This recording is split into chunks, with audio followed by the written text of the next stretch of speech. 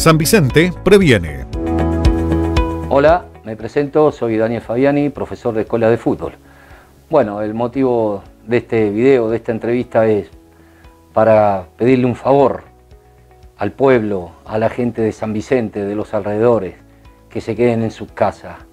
He visto lamentablemente jóvenes, niños, familias haciendo deporte en las multicanchas, en las canchas interiores del estadio municipal, yo creo que eso no es correcto, estamos viviendo un momento muy difícil, estamos atravesando por una pandemia mortal, que esto no tiene edad, no tiene eh, estatus social, económico, esto los ataca a todos, tenemos que cuidarnos unos a los otros.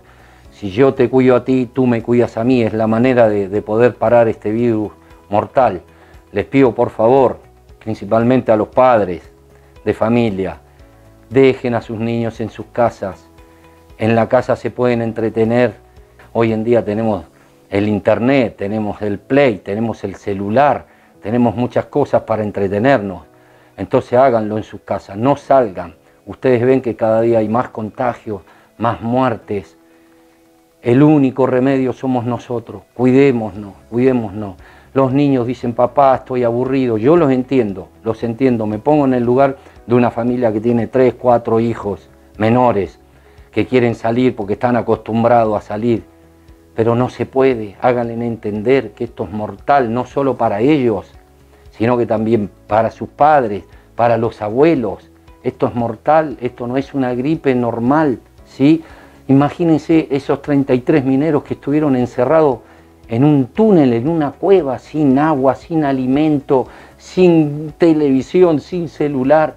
¿Eh? Ellos sí que la pasaron mal y nosotros, miren, gracias a Dios tenemos un techo, tenemos alimento, tenemos televisión si nos queremos entretener, tenemos internet, hagan deporte en su casa, yo lo estoy haciendo, por favor se los pido, soy un san vicentano más, yo quiero mucho este pueblo, son más de 35 años que vivo acá, mis hijas se criaron acá, mi señora san vicentana, ¿sí?